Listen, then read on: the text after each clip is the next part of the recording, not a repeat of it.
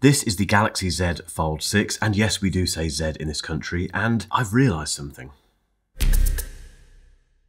This isn't going to be an in-depth review of the Galaxy Z Fold 6 because there's loads of those out there already. I am a little bit late to the party, to be fair, but the reason for that is I wanted to use it for a bit before giving you my full thoughts on it. And equally, I'm coming at this from a slightly different angle because I switched from the iPhone to the S24 Ultra a few months ago and now I've switched from the S24 Ultra to the Z Fold 6. So I'm coming at this as a recent Samsung convert. I am basically a Samsung person now. I used to be an iPhone person and I am a massive Apple sheep. I use my Mac, I use my iPad, I used to use the Apple Watch. Basically, I love Apple stuff, and I do still have a big, very big place in my heart for the iPhone. I do miss it. So this really has to win my affections. And if you're wondering, yes, I will be reviewing the Z Flip 6 as well, so make sure you hit that subscribe button and the bell not to miss that video. But let's get into this after this week's sponsor.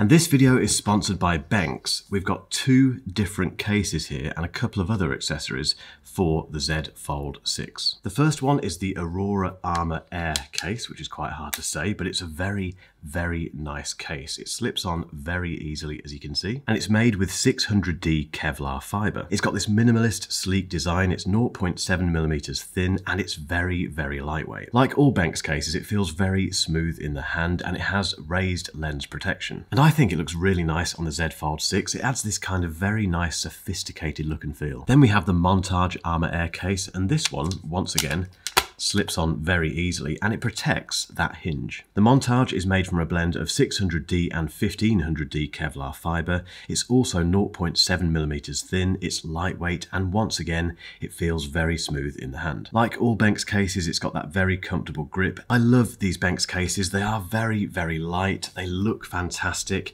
and they make this phone just a little bit less worrying to carry around. Because as you'll find out in a moment, it is very expensive. But thankfully these cases aren't. Now neither of these cases go onto the front of the Fold 6, but that's actually a good thing. I've had cases that do that on Folds and they just don't work. They're usually incompatible with screen protectors, they can reduce the viewing area, and they keep falling off. These Benks cases offer just enough protection. But if you're worried about that front screen, the good thing is, is that Benks has a screen protector, which I've put on here, very, very easy to apply and it gives you that peace of mind and it doesn't dull the colours. It looks fantastic still, it feels great. That is an absolute no-brainer for the Fold 6. And if you're worried about those three lenses on the back, Benks also offers lens protectors which are very easy to put on and once again offer you loads of peace of mind. Thanks once again to Benks for sponsoring this video and if you want to check out those products, just go and click those links in the description. Right, let's run through the specs of the Z Fold 6 just to see how far we've come from the Z Fold 5. So it has the Snapdragon 8 Gen 3 for Galaxy. That's very important. It's not a regular Snapdragon 8 Gen 3 chip. They've designed it specifically for Samsung. It comes with 12 gigabytes of RAM. It weighs 14 grams less than the Fold 5. The cover display is 1 millimeter wider. The internal display is 2.7 millimeters wider and the bezels are smaller as is the hinge. It's also thinner overall than the Fold 5 and it has a brighter display at 2600 nits. The Fold 5 was a mere 1750 nits. It comes in silver shadow, pink, navy, black and white and black and white are the two online exclusive colours. I went for the white one obviously. This is my phone by the way. This hasn't been sent to me for review. I have committed to this by spending quite a lot of money. It's got the same size battery as the Fold 5 but it promises two extra hours of video playback and there's a slightly tweaked camera system although it still has the 50 50 megapixel main camera. In terms of pricing, the 256 gigabyte version, which is this one here, is £1,799. The 512 gig version is £1,899 and the 1 terabyte version is 2,099 quid. So it still isn't a cheap phone at all. But what do I think about it having used this as my main device for the last few days? The first thing is the crease because I know a lot of people hate creases on foldable phones. That's the one thing that stops them from buying them because they just can't understand how you could ever deal with that. It doesn't bother me. It's there if you look for it on any fold, any flip, any kind of phone that the display folds because it's going to be there. It's at the moment the technology is not there to get rid of that crease entirely. However, the Fold 6, it's definitely less visible. It does pick up a lot of fingerprints, of course it does.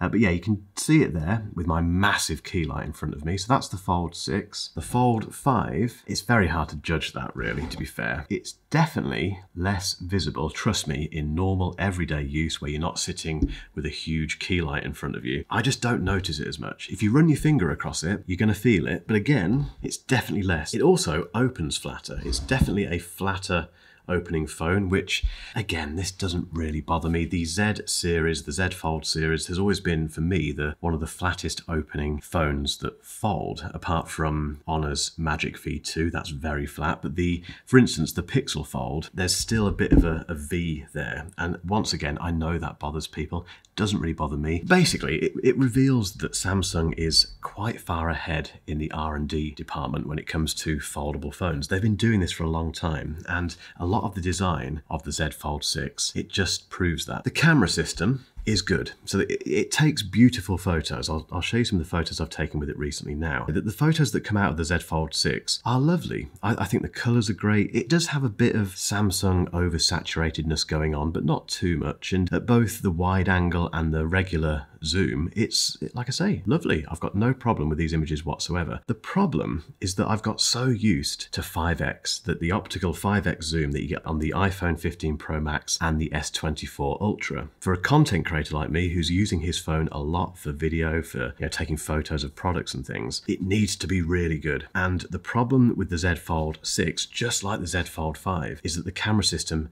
isn't flagship worthy because it's missing that 5x or even a 10x, basically a zoom that you can really rely on. You can get to 5x and 10x on this, but it's not very good. I don't know why Samsung didn't put the S24 Ultra camera system on here. As a result of that, I'm probably going to have to carry around two phones, which I didn't want to do. I, I want to be a one phone person like I've been for the, for the last few months, but it's not good enough for that, unfortunately, which is a shame because the, the regular cameras on here take lovely photos. Battery battery life is not as good as the S24 Ultra. I know some of my contemporaries have had problems with the S24 Ultra's battery. I haven't. It's been absolutely amazing. Two days easily. This is not a two day phone. It's a day and a little bit, basically. That's what you'll get out of it, but I don't trust it for that. Once again, I've become so used to the flagship levels of battery life on the iPhone and the S24 Ultra that I am missing it on this. Just very quickly on the display front, they are fantastic. The internal display and the the front cover display are much brighter and it makes a big difference. They're much brighter than the Fold 5 and when it's very bright and sunny outside, which occasionally this year it is in the UK, you do notice it. I did find that the Fold 5 and the folds before it were a little bit little bit restrictive in really harsh sunlight. That isn't the case with this. And while we're talking about the displays, the thing that I referenced at the start of this video that I've learned is the fact that Actually, the cover display isn't that bad at all. I was one of the people who said it's too narrow, you can't do anything on it. I think I, I even genuinely said it's practically useless on the Fold 5. That was a little bit unfair. That is the Fold 5 and that is the Fold 6. It's one millimeter wider, which is very, very tiny. They have made the bezels slightly smaller. Once again, you can hopefully see that. And that has had an impact, but I think I've been missing the point. And that point is this is the first phone for a long time that I can use one-handed. So if you've got something else in your other hand, please stop laughing at the back. If you're walking your dog, for instance, or if you are doing something parent related. Parents will get this. If you're doing something where you only have one hand to hand with a great big phone. I haven't got it here, but you know the S24 Ultra or the iPhone 15 Pro Max. It's very, very difficult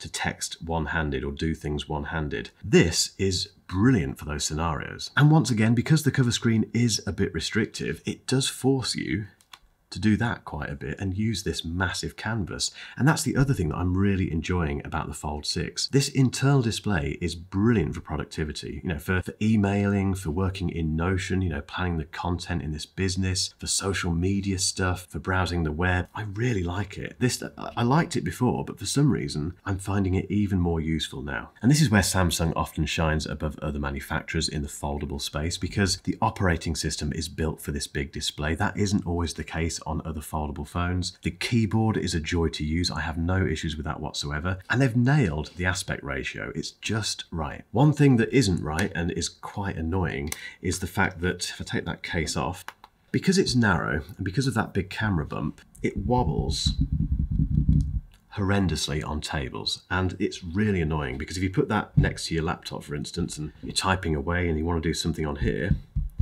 Oh, it's so irritating. But that's a minor quibble, and to be honest, most of my moans about the Fold 6 are very specific to my use cases, and they're not deal breakers. I'm not looking at these things thinking, I can't use this phone. Okay, the camera system is a bit of a, a bit of a problem, but I'm in a position where I can solve that with a second phone. Everything else I can live with. What I do like about it though is that overall it looks and feels like a very expensive device and it should because it's incredibly expensive. It's just a lovely looking thing and it does draw attention which isn't always the best thing but people do comment on it and that makes you feel a bit better for spending nigh on £2,000 on a telephone. But what about Galaxy AI? Samsung has taken the Galaxy AI stuff from the S24 series and ported it over, for want of a better phrase, to the Fold 6 and the Flip 6. But what they've done is make use of the fact that you can do things like that, and the fact that you have this massive internal display. That was the right thing to do, and it's all very clever, very smart, and there's normally something in there I think that you'll find that works for you. You won't use all of those features, but there'll be something, you know, the circle to search, the ability to draw a crown on your head and have it kind of, you know,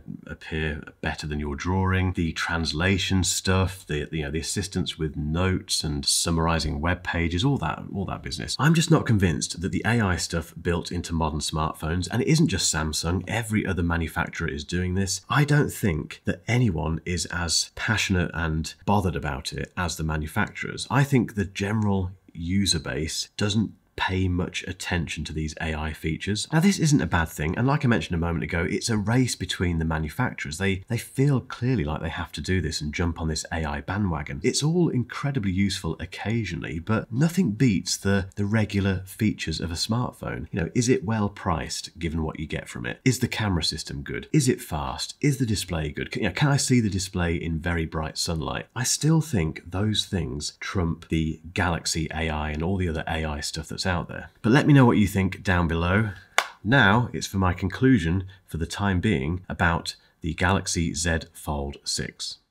If you have the Z Fold 5, it's not worth upgrading to the Z Fold 6. It just isn't. It's more of a refinement, really. I, I, I, prefer the way this phone looks. The crease is slightly less visible. It's got better... What else has it got? Hasn't got a better camera system, really. That's the one problem. It still wobbles on the table. The front cover display, I think I've been wrong about that, possibly, and it is slightly bigger. It's one of the best folds on the market, but equally I can understand why people people are, are getting a little bit frustrated with the lack of innovation, with, you know, with it not getting bigger, wider, etc. However, the one thing I would say about that is if you can guarantee if Samsung made this front display wider, people would complain. You can't really win in this game as a manufacturer, but for me, this is a phone that I'm going to stick with for as long as I think I need to. And that, and that could be quite a while. Because I am a Samsung person now, and as much as I'm going to dive into the iPhone 16 later this year, and that will definitely become my production phone for video and photography and all that sort of stuff, I don't want to give up this massive canvas. Remember, my Flip 6 and Galaxy Watch Ultra reviews are coming very soon, so make sure you hit that subscribe button and the bell not to miss those ones. And if you've enjoyed this video, give it a thumbs up please, because that makes a massive difference to this channel. And if you've still got some time, hang around for another video that I think you'll find very interesting.